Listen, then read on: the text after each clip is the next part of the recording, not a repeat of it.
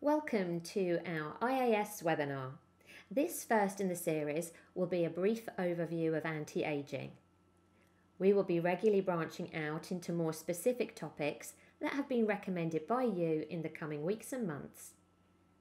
So what is anti-aging? It is often a misconception that the anti-aging movement is made up of a bunch of crazy scientists trying to figure out how to extend human lifespan to enable us all to live forever or aesthetically making us look physically younger. Whilst there is an element of truth behind this misconception, and yes, in our 30 years of researching anti aging, we have experienced our fair share of crazy scientists, however, there is incredible research and studies that continues to identify ways that we can extend our lifespan with the potential to unlock the secrets to living indefinitely. What has been identified is aging is extremely complicated, caused by many different complex biological processes. A few key ones that we will endeavour to tell you about, as well as the published research showing how to slow some of these processes down. However, before we can achieve the goal of living longer, we need to improve the quality of life in our older ages by optimising our health span. Health span and lifespan need to go hand in hand.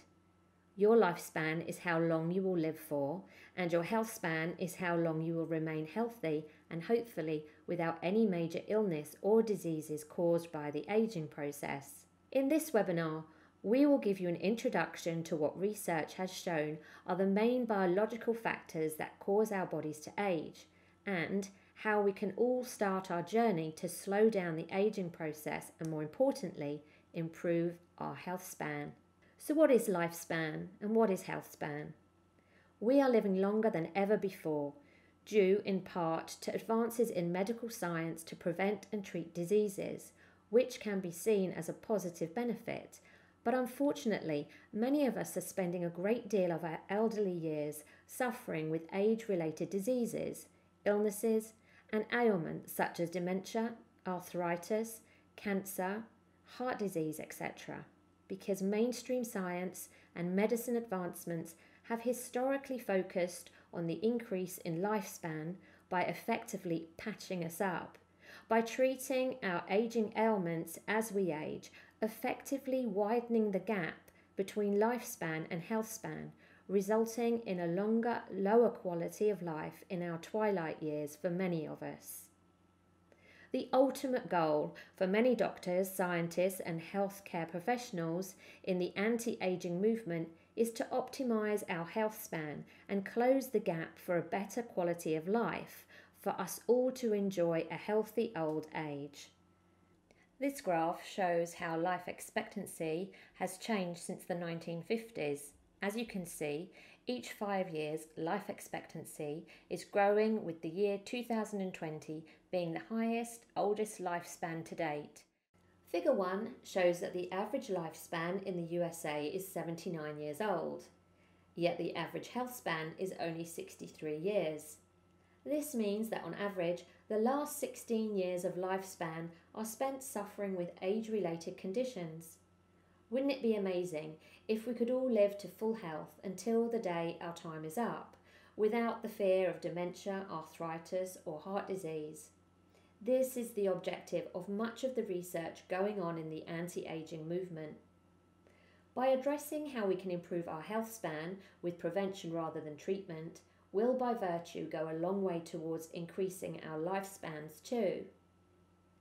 Whilst a healthy lifestyle, good diet, and exercise, although not too much exercise, are hugely important, in this presentation we are taking these as a given and will focus on introducing you to the anti aging science. So, how long should we live for?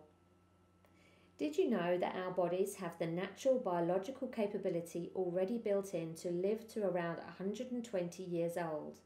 And that on a cellular level, our bodies typically function at around 58% operating capacity, keeping 42% held in reserve. Did you also know that there are natural products backed by 40 years of proven science with the capability to unlock these valuable reserves? Don't worry if you're not aware. as we will introduce you to these natural marvels later on.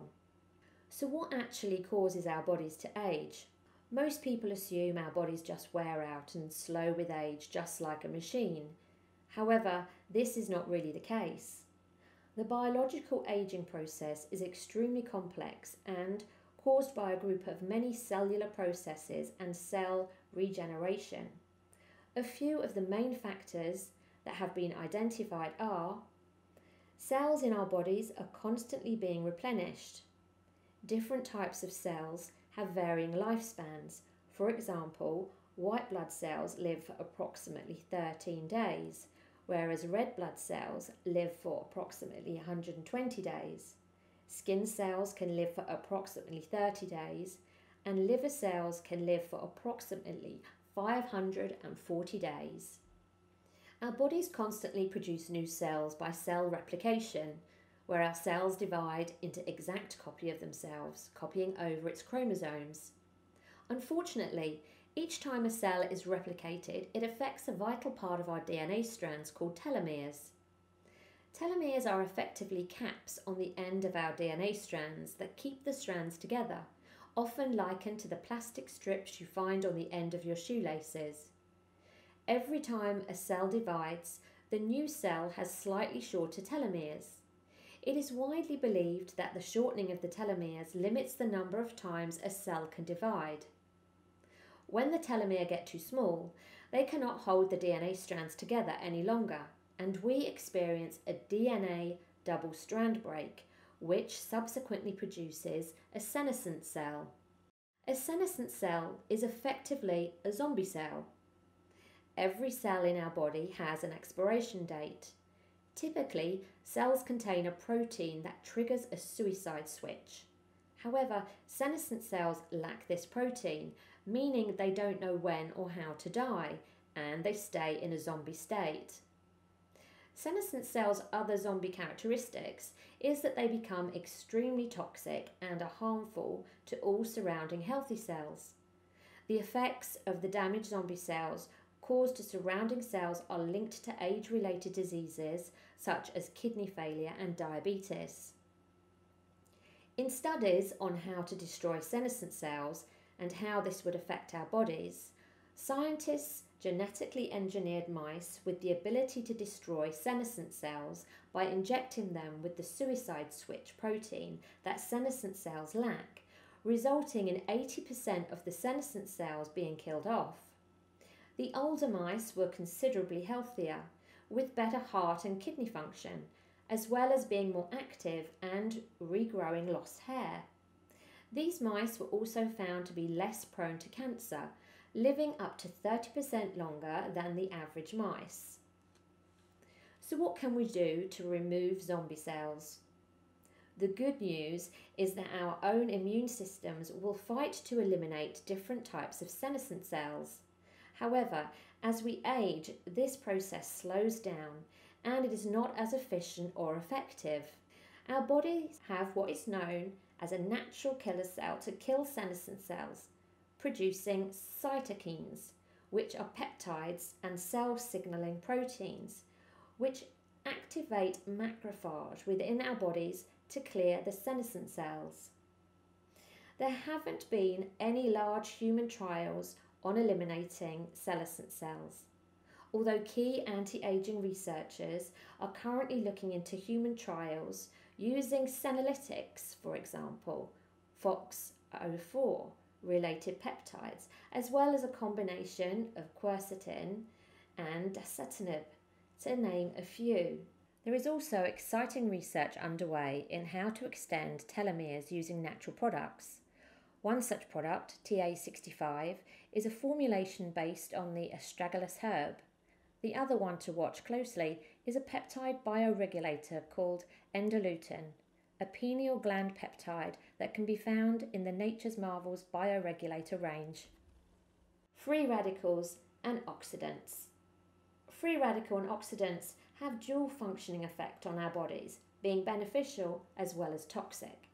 They are produced by normal cell metabolism as well as from external sources such as pollutants, radiation, as well as medication. One such natural process within our bodies that causes free radicals is via our mitochondria. Mitochondria are organelles within our cells whose function is to produce the chemical energy with ATP, otherwise known as adenosine triphosphate, which is the fuel that our cells require to function and survive. Mitochondria have their own DNA that is separate from the DNA of chromosomes. Whilst converting oxygen, food, fats, and nutrients into ATP, the mitochondria can accidentally produce free radicals. Free radicals are beneficial to our bodies at low levels as they are necessary to enable cells to mature and assist our body's immune function in fighting disease by destroying invading pathogens. At higher levels, though, our bodies can experience an overload of free radicals that are too overwhelming for our body to naturally destroy, resulting in our bodies experiencing oxidative stress.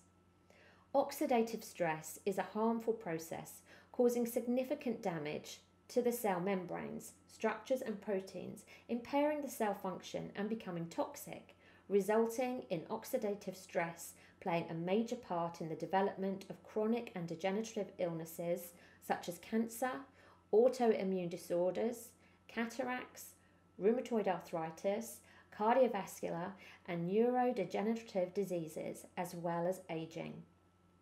Look out for free radical scavengers and antioxidants such as ACF228 and Can-C. Humans are very complex organisms. We are made up of a trillion of cells within their own unique function. Scientists have estimated that the average human body is made up of 30 trillion cells. Our bodies are like machines. We are constantly replenishing and rebuilding old cells into new. As we age, this process becomes disjointed and more difficult. We regenerate slower and can't produce the quantities needed. One of these parts is NAD, a natural coenzyme found in all living mammals that every cell in your body utilizes to regenerate and maintain a healthy cellular metabolism. It also allows our cells to reproduce by receiving the energy they need to perform essential functions. Your NAD levels have direct links to the aging process as we get older. Our NAD levels naturally decrease regardless of your state of health. For example, at age 50, you will have around half of the amount of NAD in your body that you had when you were 20 years of age. There have been multiple studies and trials on mice that have shown once their NAD levels are raised, this promoted the regeneration of brain, skin, and muscle stem cells. The mice were more likely to be able to repair their DNA and also had a slightly increased lifespan. What can increasing your NAD plus levels do? It enhances cognitive health, controls aging through the regulation of genes, boosts physical and mental energy, enhances efficiency of mitochondria, optimizes a healthier metabolism, encourages healthier levels of blood sugar, and promotes insulin sensitivity. NAD Plus is a serious contender when it comes to anti aging. Peptide bioregulators. Peptides are described by scientists as nature's gene switches that can replace stem cells. Bioregulators are a unique nutritional supplement they were originally developed by the Russian military to optimize the health, strength, and fitness of their soldiers. The bioregulators are effectively gene switches that optimize specific organs and parts of the body to work at their optimum levels. Peptide bioregulators are unique in that they unlock the reserves that your body naturally holds back. Your body typically keeps 42% in reserve, ensuring that your body is working at its most optimal level and performance. Bioregulators are intelligent in the sense that you can't overdose. If the body part or gland you're taking them for is already at optimum levels, the bioregulator will lay dormant until needed again. There are no reported side effects either. Peptide bioregulators, such as Nature's Marvels, are truly fascinating with incredible benefits and properties. We don't have enough time to dive deep enough in this episode, but we will have a peptide exclusive episode coming soon. We exhibit and lecture at many events and conferences worldwide. IAS also sponsor dedicated organisations in the battle for biological age control, such as RAADfest, SENS, and the Age Reversal Network. If you use IAS by virtue, you support and further the research of this important information and vital research. Other products that are worth a mention we will feature later. We don't have enough time in this episode to go into detail they deserve, but the following topics will be featured later in the series bioidentical hormones, nootropics, peptides, nutraceuticals, rapamycin, metformin, dasatinib. If there are any products or topics that you are interested in or want to know more about before our next episode, please get in touch with us today. We're happy to help.